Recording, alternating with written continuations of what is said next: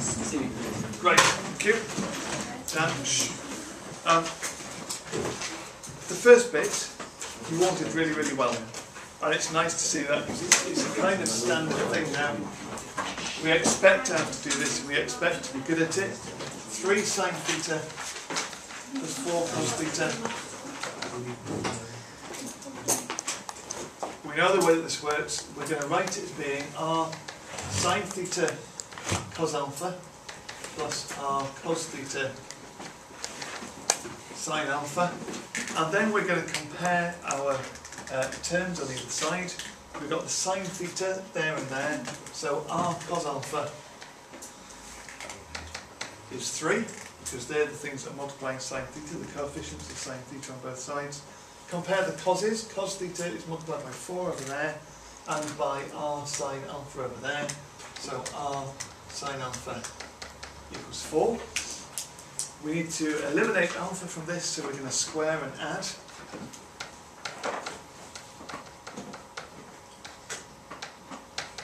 Um, so r squared would be 5 squared, so r equals 5. We're rejecting minus 5 uh, because, of course, it is um, r greater than 0. in the Question? Are you right, Dan? Yeah, just. I know you get r squared equals 5 squared from. I know it does, but. Okay, well, if if we if we square these two lines and add them, No, it's fine. Okay. okay, That's slightly weird. 25. Yeah, you thought you'd write 25 equals r squared. Then you No, just r squared equals r squared. squaredy bits. oh, that's true. Yeah. For the purpose of the video. For the purpose of the video, okay, all right. For the purpose of the video, video which now is a long period where we discussed the purpose of the video in the middle of it. Oh, stop discussing What? Okay. I was just doing it for Hayes. Stabbing there, use bathroom. Taking ten success maths test. Right, so we've got R squared is 25 and R equals 5. Good. Right. We need to find alpha as well. Uh, we've got cos alpha. Go meets maths. Eve Dictator. Um, eh, both of those, we would do inverse cos of 3 fifths, inverse sine of 4 fifths. It was 53.1, was that right? So we've got um, 3 sine theta plus 4 cos theta is 5, what was it, 5 sine theta plus, have I done this right? 5 sine theta plus 53.1. There we go.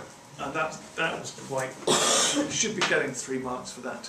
Now, hence, solve the equation. So, we're going to take the hence bit. Part A, the equation, if we rearrange that slightly, it says 3 sine theta plus 4 cos theta equals minus 1, doesn't it? Because we take 1 to the other side.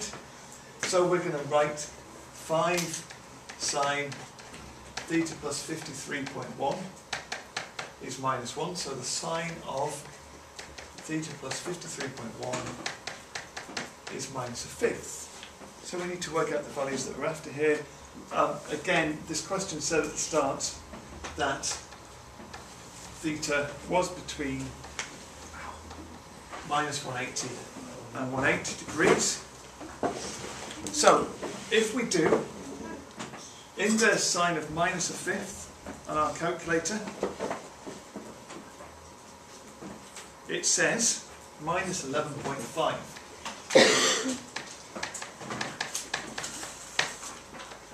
minus 11.54 actually says.